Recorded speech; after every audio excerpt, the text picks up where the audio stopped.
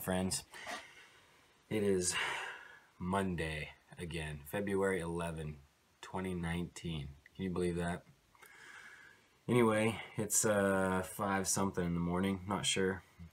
I don't have a clock in front of me, but that's okay. Doesn't matter, does it? Because by the time this gets uploaded onto the internet, it's going to be later than that anyway. But anyway, I want to talk to you today about something that's got me always perplexed and and I think it's per, it's a big enough idea that it ought to be a little bit perplexing. But um, I wanted to talk this morning about having the mind of God. And uh, one of my favorite passages in the scriptures, got a lot of favorites, but um, one of my favorites is from the book of John. In the last part of the book of John, as it's telling the story of Jesus and and uh, you know the account of him on earth, God and man.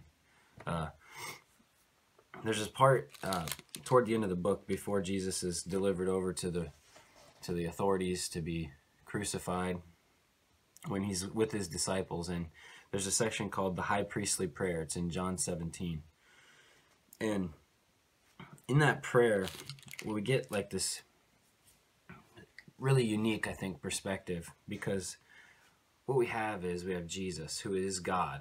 Jesus is the Son of God. He is God. He's fully man and fully God.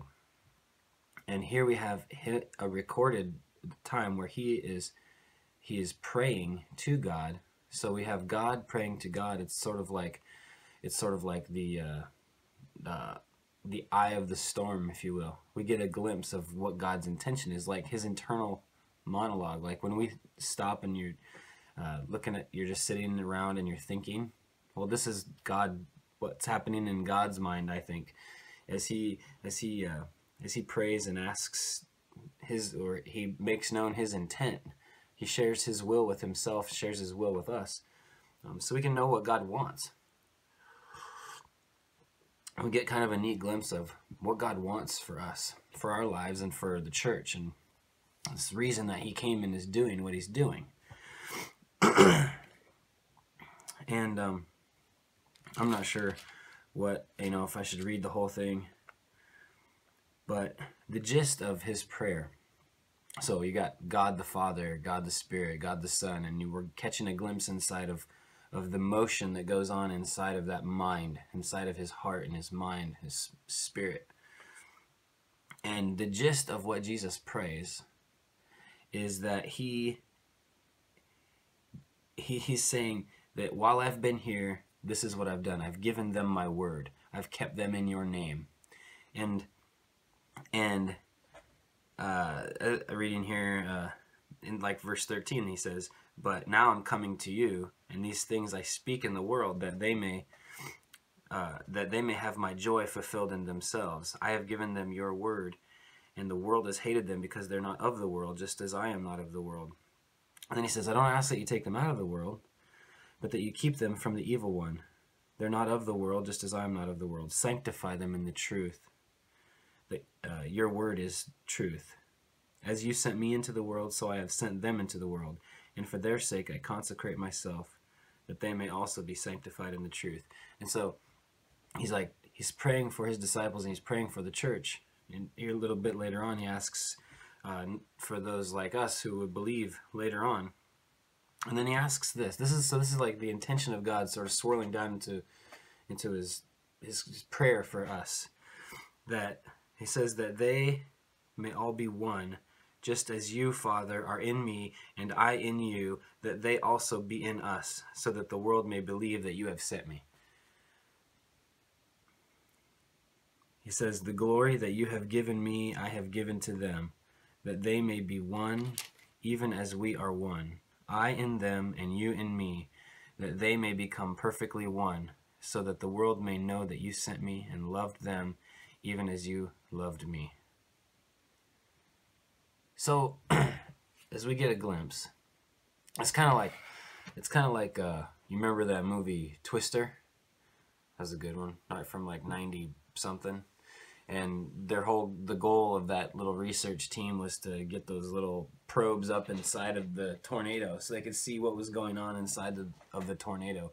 I think this this prayer that we get with Jesus is like us taking a look inside. If God was a storm, if God was a swirling tornado, what is inside there that drives it? It's this idea that just like Jesus is in God, that we would be in Jesus just as he is in God, and that all of us together would be one. And it's interesting because I think that so many times we lose sight. I'm not trying to find fault, but I think a lot of times as we are going through our lives, you know, trying to be Christians, and we uh, we want to do what's right, and we want to, uh, it, you know, we want to worship God with our lives, but we find that so many times we shape our actions and our intentions based on something that we think is the right thing to do, not on what Jesus stated his actual intention was. For example, we uh, a lot of times focus more, I think, on uh, sharing the news of Jesus with people, and that's not a bad thing. It's a good thing. But God's main goal is that we become like Him. And I think that my philosophy has always been that as we become like Him, then we're going to do what He does, and that is to share about Jesus and share about God's love and His mercy and His grace and His calling, His real life that He offers. But when we look inside the mind of God and uh, we, we see what he asks God for, what Jesus asks God for, it's that we all be one, is that we are made like him, that we're made one.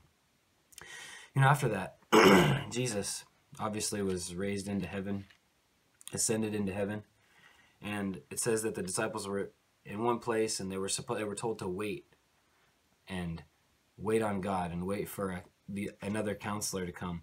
And then we, we read about the day of Pentecost when the Holy Spirit was sent down to the church. And from that day on, we have access to the mind of God through the Holy Spirit. And, you know, there's a lot of different theories about that and how that works. And some are formulaic and some aren't.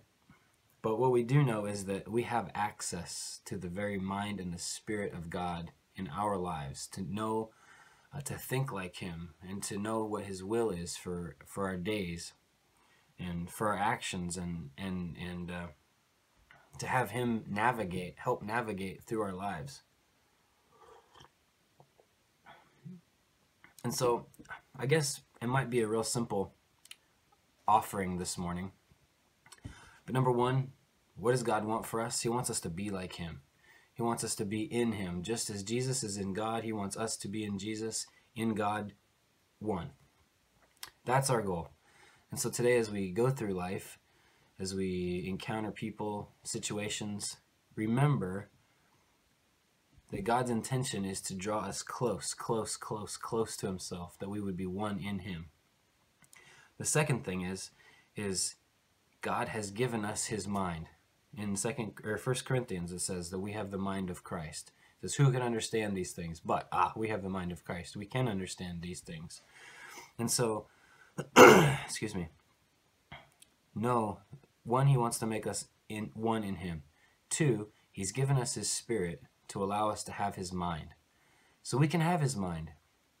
So we have to ask God for more of his spirit. Ask God for his Holy Spirit in our lives so we can see and navigate life like he with his eyes with his heart with his spirit so pray for that ask for that make space for his spirit in your heart and in your life and the third thing i think i just want to just touch on it just a little bit just give a little touch is that um, is what that looks like when that's lived out because i think maybe some some people might think that it looks like some kind of like uh, powerful prophet kind of guy that goes through and always has the answers and thus saith the Lord kind of stuff. But really, um, when it's, I think when it's lived out, when I've seen it lived out, I think when I've been blessed enough to be able to live out the mind of God in certain situations and certain times, when Jesus himself lived out his presence here on earth, listen to what it looks like. It's in uh, Philippians, it talks about what it looks like. It says, uh, again, we find the word mind. It says, Complete my joy by being of the same mind, having the same love, being in full accord and of one mind. Do nothing from selfish ambition or conceit, but in humility count others more significant than yourselves. Let each of you look not only to his own interests, but also to the interests of others. Have this mind among yourselves, which is yours in Christ Jesus, who, we're going to describe his behavior now, or his the way he was, is, who, though he was in the form of God, did not count equality with God a thing to be grasped, but emptied himself by taking the form of a servant, being born in the likeness of men, and being found in human form. He humbled himself by becoming obedient to the point of death, even death on a cross. But see, when we live with the mind of God, when we uh, live with the Holy with His Spirit at our center, it's not going to look like some powerful. There may be times when He wants to exert power through us. It might look like something that will blow our minds, but most days it's going to be looking like selfless love. So make space for that today too. Selfless love through us to be could be molded into the shape of Jesus, inwardly and outwardly, and help to build His kingdom on earth. So maybe this little thought for today: you have the mind of Christ available to you, the mind of God, to navigate your days, to not live with complete and total uncertainty, but to be one with Him, uh, resting in the shelter, the shadow of the Almighty uh, in Him. Well, anyway, let's pray. Lord Jesus, we thank you for this day that you've given us. We thank you for watching over us, for providing for us the things that we need for a life with you and in you.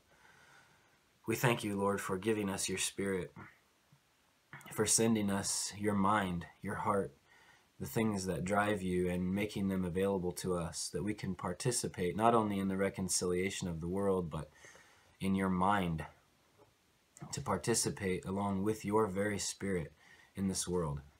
Lord, I ask today for your church, for uh, those of us that are pursuing you and want to live in you and with you, that you would bless us with your spirit, more of your spirit, Lord, that we could live out your intention for us to draw us to yourself, not to impose a moral code, not to impose our will on others or just to order life so that we it makes us comfortable, but Lord, you called us into your very self.